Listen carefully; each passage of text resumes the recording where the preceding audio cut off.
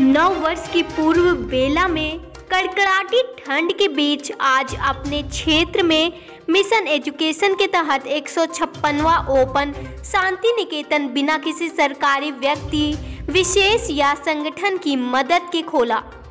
उत्तर प्रदेश मिर्ज़ा कोतवाली लालगंज के बनौंधा चौक के अंतर्गत ग्राम पंचायत दिघुली के प्राथमिक विद्यालय कोलपहरी पर पहुँचे सीओ भानु प्रकाश सिंह। मेरे देश का भविष्य, जिनके पैरों में चप्पल तक नहीं है, तन ढकने के लिए केवल सरकारी स्कूल की ड्रेस है।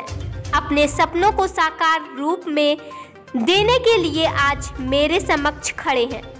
समाज की मानवीय संवेदनाएँ इनके लिए शून्य क्यों हैं? पहाड़ी सर्द हवाएँ इनकी एकमात्र बिना बटन की फटी कमीज से टकरा रही हैं, काँप रहे हैं। फिर भी पढ़ने और मेरे पास उपलब्ध प्रसाद को पाने की लालसा में इकट्ठे हुए हैं। अपने पोस्टिंग स्थल पर घर से 800 किलोमीटर दूर हूँ। मुझे यहाँ प्रधान का चुनाव नहीं लड़ना। जब ट्रांसफ़र हो जाएगा, शायद कभी यहाँ आऊँ। अपने मानवीय कर्तव्यों का पालन कर रहा हूँ। प्रयाग एक्सप्रेस न्यूज़ के लिए मिर्ज़ापुर से पप्पू सिंह कुशवाहा की खास